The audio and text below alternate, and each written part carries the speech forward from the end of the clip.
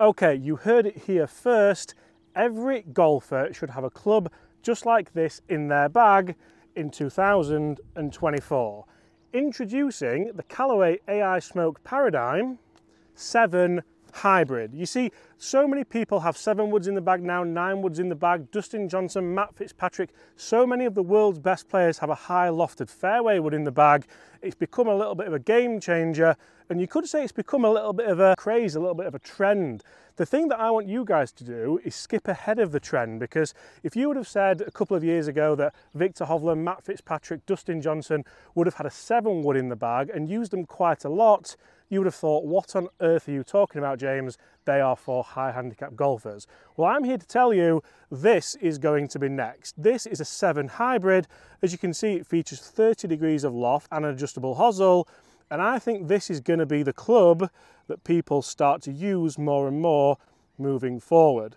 Why is that? Because a lot of people could hit a 7 iron pretty well anyway. 7 irons aren't always the problem until they are the problem just like with the 7 wood. Hybrids weren't the problem until they were the problem. 5 irons weren't the problem until they were the problem. Not so much for the world's best, but for us guys and you guys watching at home. So 30 degrees of loft, it's a tiny bit longer than a normal 7 iron. There's not a lot of offset on here, which I think Callaway have done incredibly well with these. And I have played with this full set, so it goes right down to 8 iron. And it, Callaway aren't the first brand to do this. 11 Golf actually released a full set of hybrids which my dad was using not so long ago. And he found them very, very forgiving, very forgiving. Um, let's aim to the right and let's try and draw this one in just a touch. And making golf easier for yourself is something which everyone should be trying to do because if it's easier, it's more enjoyable and you're likely to stick at it.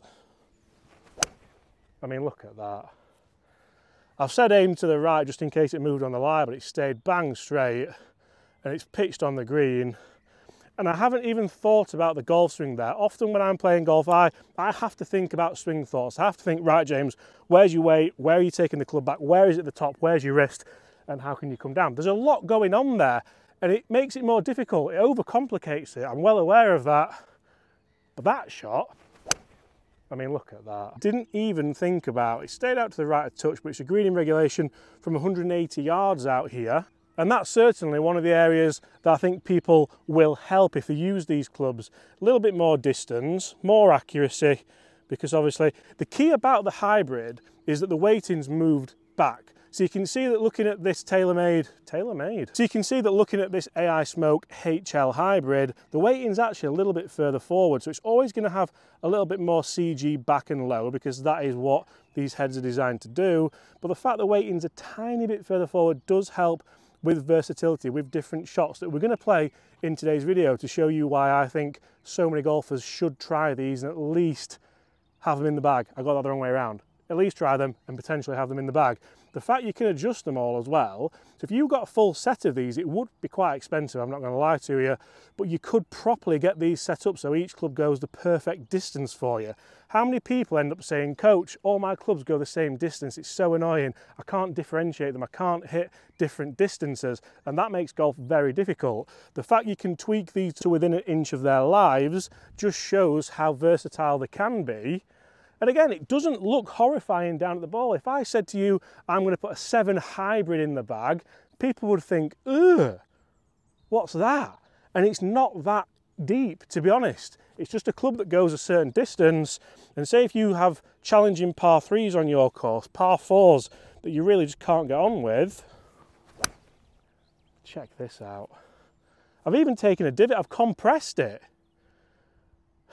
That is frighteningly good. The feel wise, you do lose out on feel. It's obviously not going to feel like a Forged 7 iron would or a Forged 6 iron with the loft that's on these, but there's actually more loft on this than a forgiving 7 iron. Most 7 irons are like 28, 29 degrees. This is 30. So it makes it easier to launch it higher. You're not cheating with loft, you're cheating with tech. I want to give that a clean before I hit the next one because I don't want to scuff up the face. Let's go again. That was down its throat a little bit. I'm going to get that mud off the ball because that's not going to help. And we're going to test these in a couple of different scenarios to see how good they are. I mean, that's frightening that I've gotten away with that. That was a terrible swing. Terrible swing, flag high to the right. And that might have been. With another club, I'm not going to tell you what it would have been. It's what we don't talk about. It's the Voldemort of golf shots.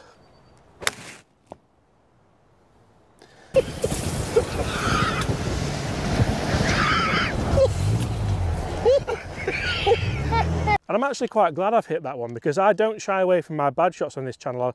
I kind of embrace them. And the one thing that I've always been taught in golf is it's not how good you're good. Everyone's good is good. It's how bad is you bad. Because if your bad's really bad, you're probably going to struggle on your off day.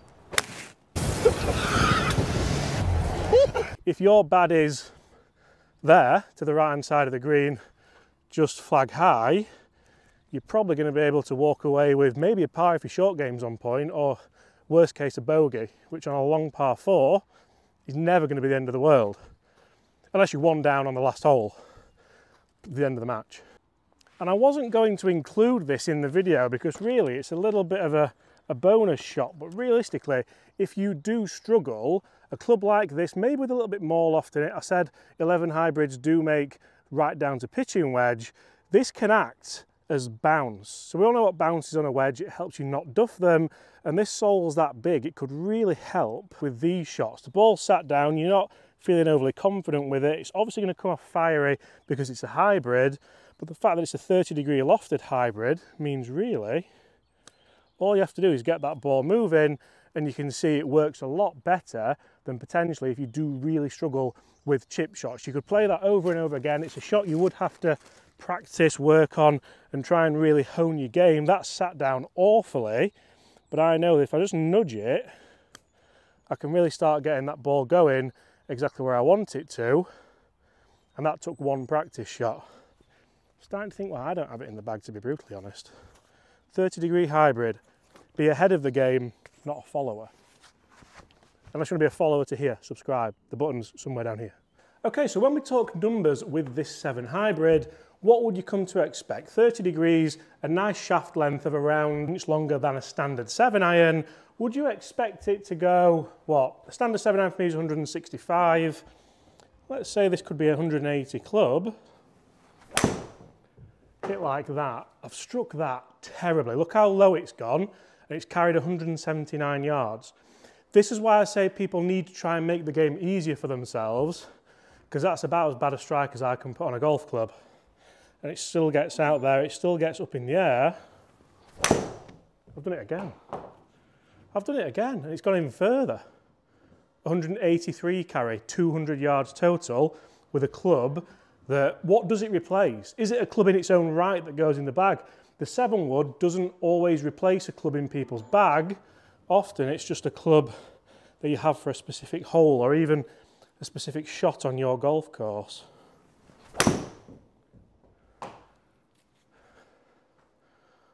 That one's gone a bit left. It's still 181. More pilot error that than anything else. But again, the numbers are there. And I do quite enjoy testing clubs with mediocre golf swings because I feel like this is how they are supposed to be hit. And then that's a lovely golf swing. What's that one carrying? I feel like that's going to carry, and it has. It's carried exactly the same, 180 as opposed to 181, so not quite exactly the same as a really bad hit. And this is what I'm starting to come to terms with. Why are we making golf so hard for ourselves?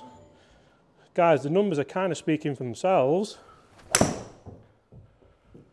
Should we all have one of these in the bag? Look at that.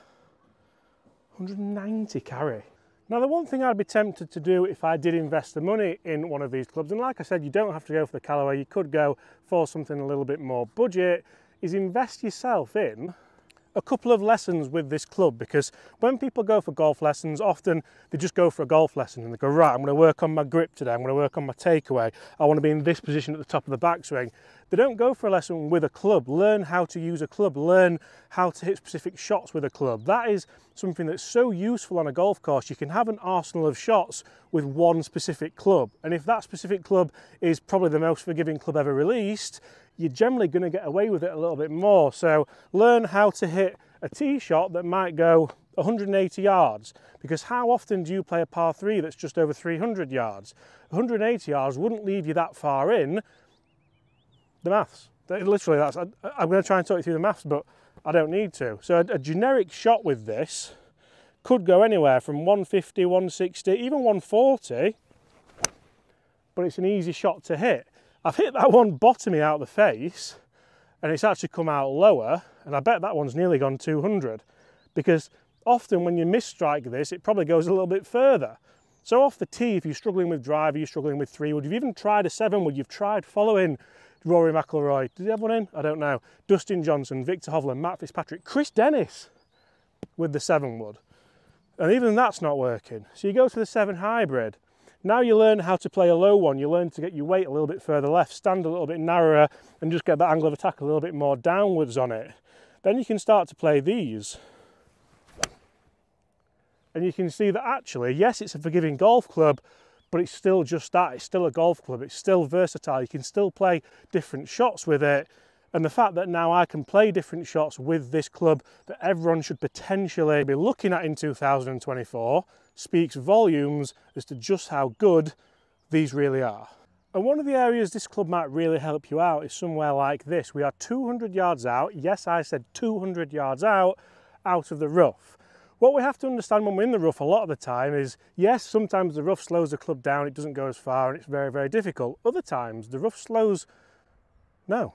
Other times the rough speeds the club up so it actually makes it a little bit easier to get the distance you want. And I dare say these are two of those occasions. One of them's sat up a little bit, there's some moist grass behind the ball, so that's generally going to give us a little bit of a flyer, like the known terminology wise. But the fact that this leading edge is a little bit thicker on the hybrid also helps.